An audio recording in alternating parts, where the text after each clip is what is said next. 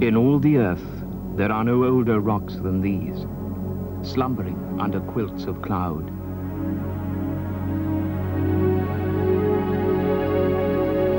Legend has it that somewhere in this wilderness near the sky is the cave where Arthur sleeps. The hero king and his men awaiting the call to arms in Snowdonia. If Wales has need of them, they will awake with a day.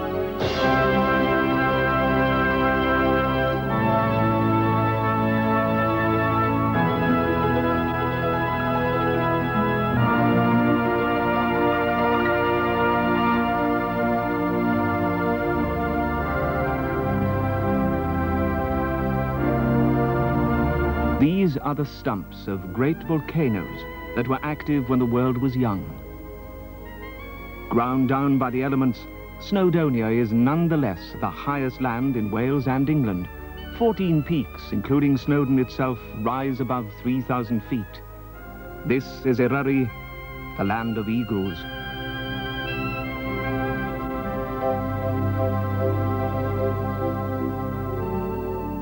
Her northwestern approaches are precious to Wales.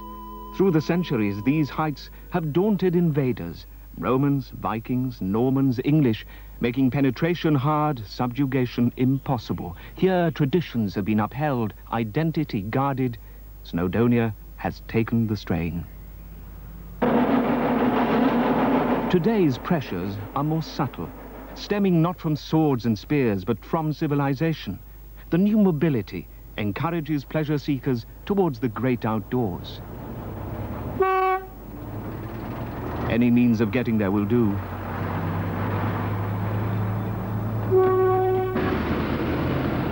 Now, the mountains are a resource for farming, for quarrying slate, for generating power, above all, for recreation. How to reconcile such uses with preserving Snowdonia's essence is the modern problem. If too many people come to the place to admire its beauty, to mm-hmm. study the area, then simply by sheer numbers, they will destroy the very beauty that they have come to see. Howell Roberts is a warden of the Nature Conservancy Council. The council was set up in 1949 to safeguard Britain's remote haunts of wildlife. It's the warden's job to move around Snowdonia's high ground, observing, monitoring, recording, sometimes experimenting.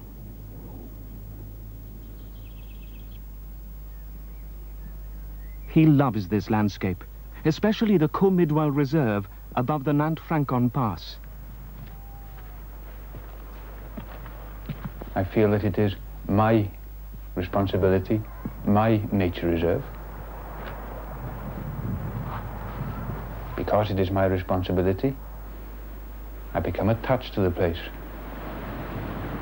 It grows on me. The lake and the shrapnelled cliffs above it testify to the deep ice which crusted the terrain 10,000 years ago. As the world grew warmer, the glacier carved its way towards the sea.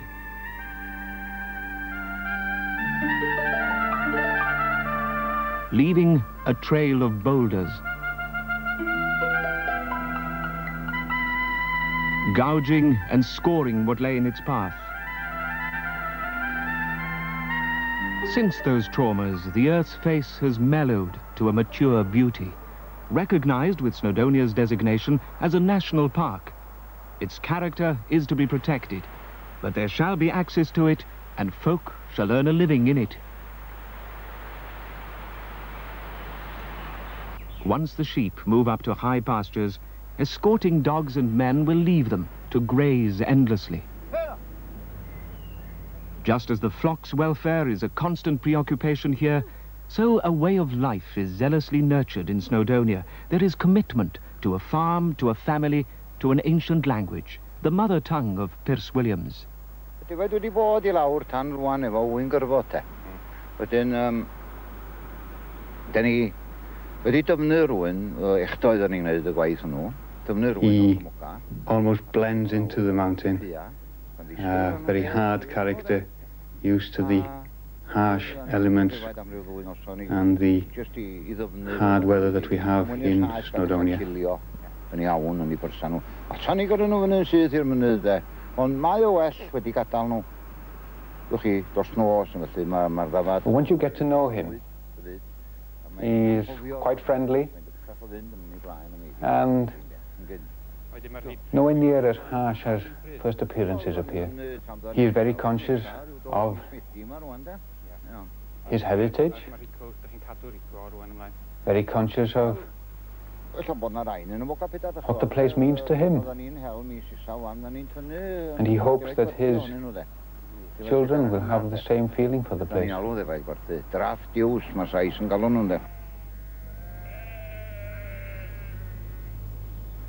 Between the mountains are squeezed Snowdonia's tiny towns and villages.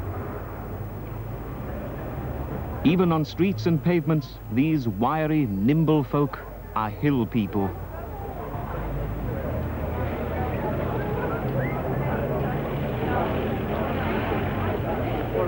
Elsewhere in Snowdonia, there is space for surprises, as where the mountains slope to the Mediterranean caricature by Clough Williams Ellis, Port Portmeirion.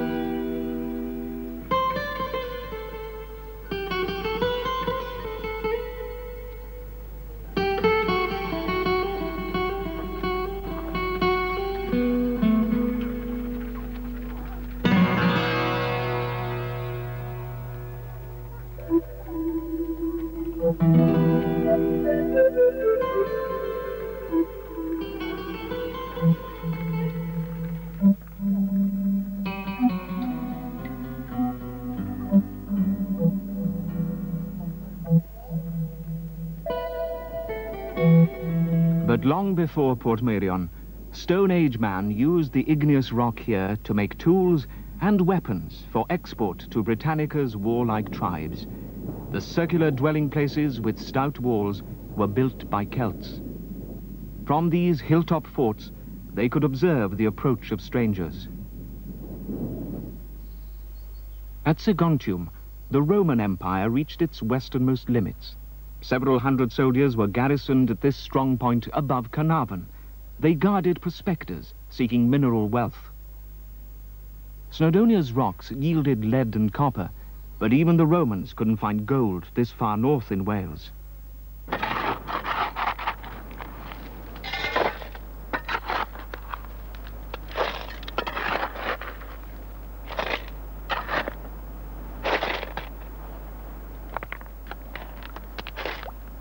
Since the Romans' day, others have found gold, either by mining or, like Jack Whittaker, by panning patiently beside the up-country streams. They seek, they sift, they bide their time.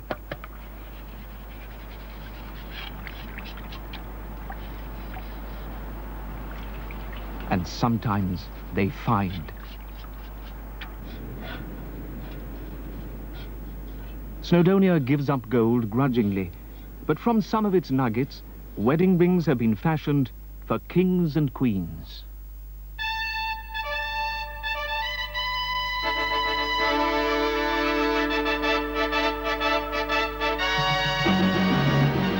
The first English monarchs to establish a presence here were the Plantagenets. Containment of the Welsh was their aim, within a string of granite-hard castles.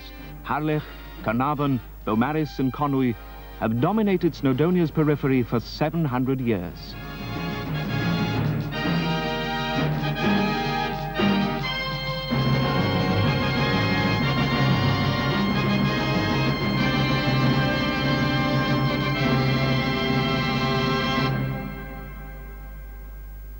Howell Roberts is more at home elsewhere.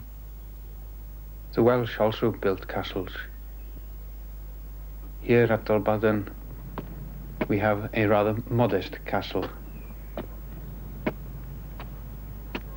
This castle was a home for a family, not a garrison. Here, the prince would entertain those people that came to visit him. His family would live with him. This was a home.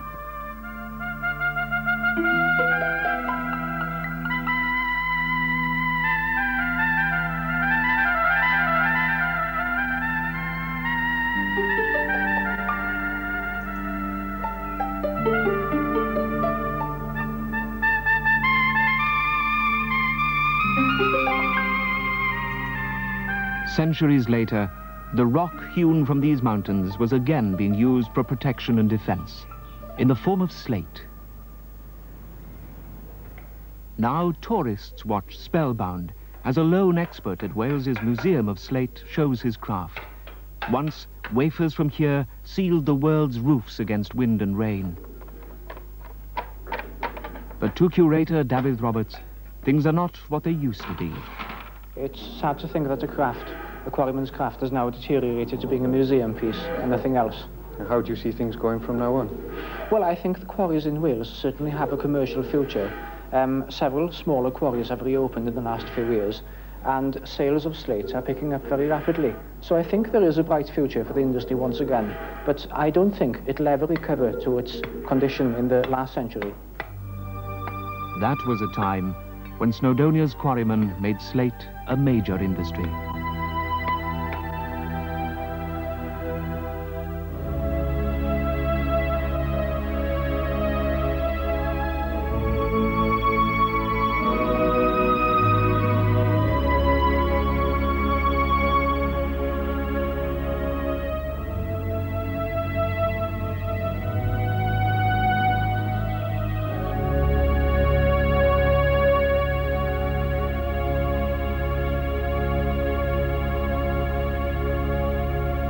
The grey stone from the mountains had to yield before roofing material more readily available.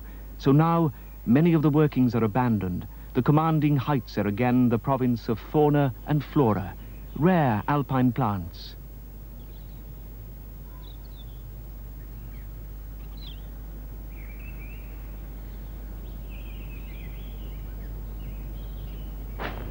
Creatures bashful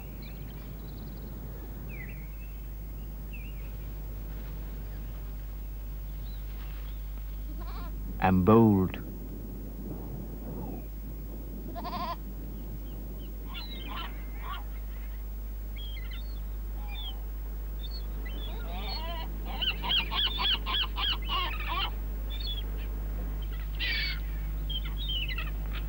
Snowdonia's upland scenery has always attracted artists of vision. A canvas by Julius Caesar Ibbotson shows how difficult communications once were. Richard Wilson came here.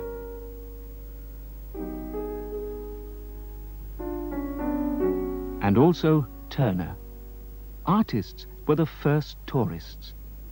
And however rugged the surrounds, it's possible for a painter to make himself comfortable.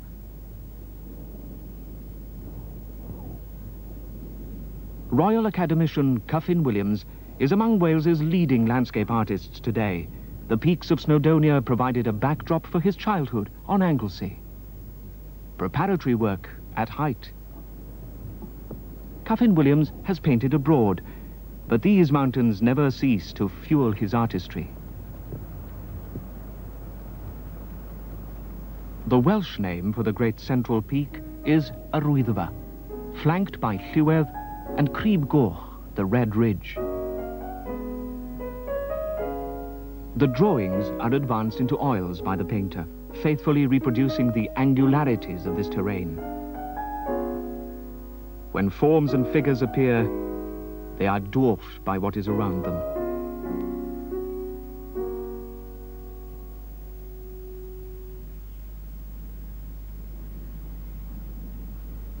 Meanwhile, hundreds of feet below the artist's eyrie, the rocks conceal a tourist attraction, at least as potent as the great outdoors, Snowdonia's inner personality. These visitors are embarking on a subterranean guided tour as guests of the Central Electricity Generating Board in an electric van, of course.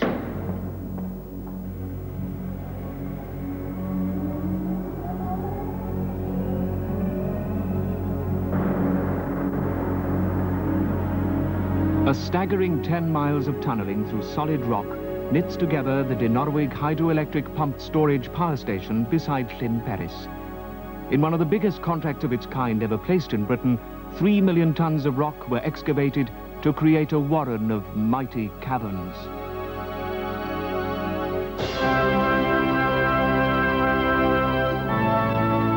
When Dinorwig is called upon to generate electricity, 100,000 gallons of water a second cascade from an upper lake down into the depths of the mountain, activating massive machines. They generate at peak hours. Later, they reverse to pump the water back to fall again. Dinorwig can meet a sudden demand for electricity anywhere, instantly. From this situation where we're spinning in air, ready to generate, it can have its full load of 300 megawatts out in 10 seconds. Do you enjoy taking people around? I always enjoy showing people around Dinorwic. Uh, it's a fantastic achievement. There's so much to show you and tell you. And in fact, it's a pity we don't have more time so that you can see more of it.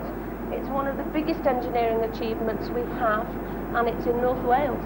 Remember the water you mentioned at the beginning? Where did it come from? From the upper reservoir, from Marchlyn Mawr.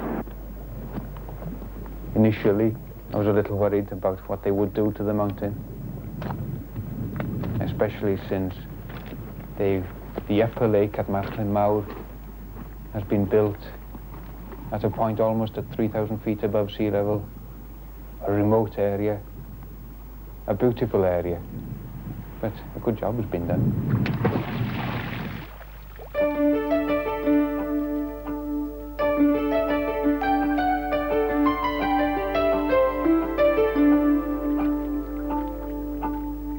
Unrelenting rains of northern Wales mean that Snowdonia's contours have been smoothed and beautified by water.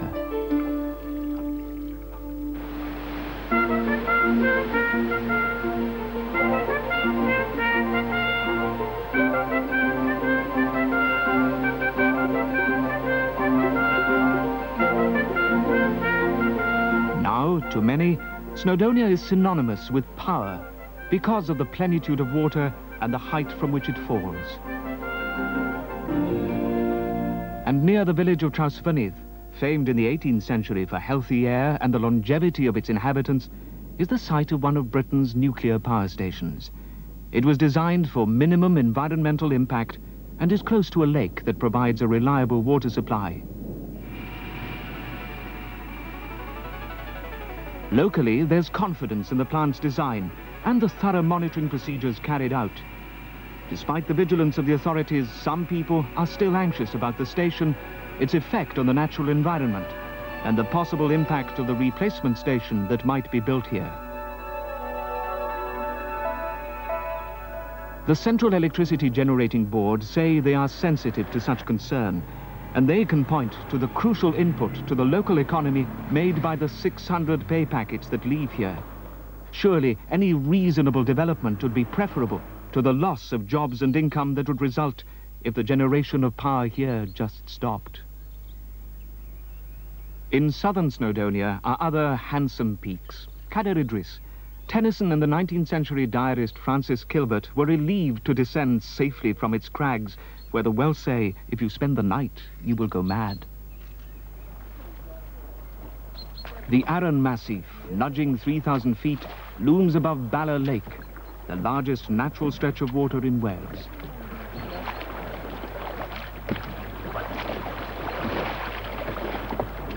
Here, visitors can mess about in boats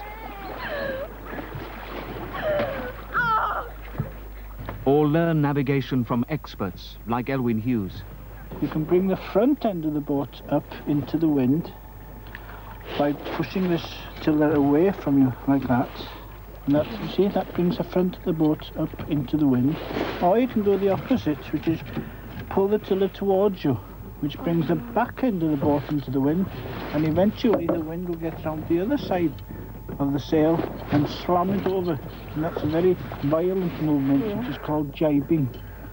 And that's the dangerous one. Danger is a prime ingredient of the challenge Snowdonia holds out for climbers. By world standards, these are pygmy peaks. But Hillary and Tenzing trained on them for Everest. Don't lose your hat.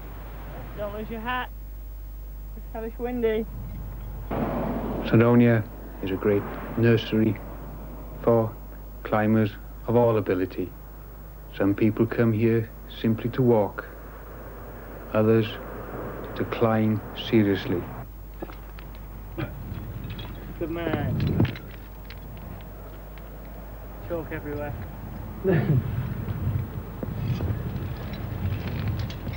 At outdoor centres, the basics are taught before climbers Oh, take their courage in their hands and move Oh, towards the sky. Okay. There are other ways of reaching summits.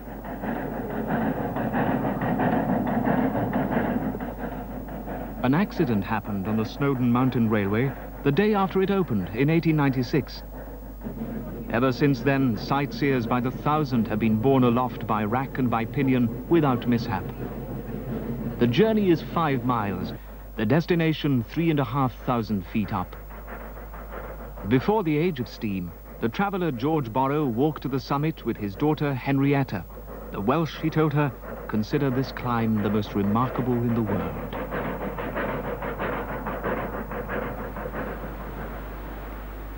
Every day there's something slightly different. The clouds, the light,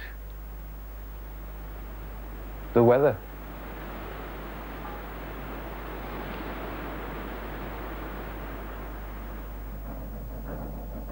Today, the summit promises to be clear. Expectations are high. Journey's end for the climbers.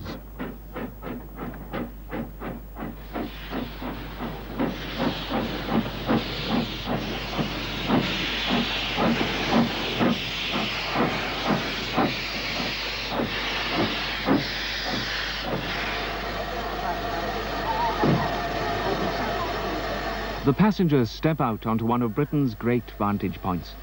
But though the day is young, a lot of people have had the same idea. Well, it's been estimated that half a million people reach the summit every year, whether by train or by foot. That's a great number of people.